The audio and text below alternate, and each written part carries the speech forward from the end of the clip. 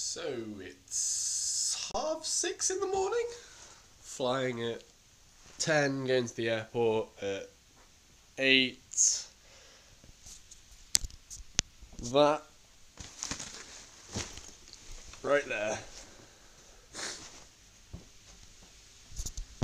is my life for basically three months. Oh, there we go. So, Dubai, here we come.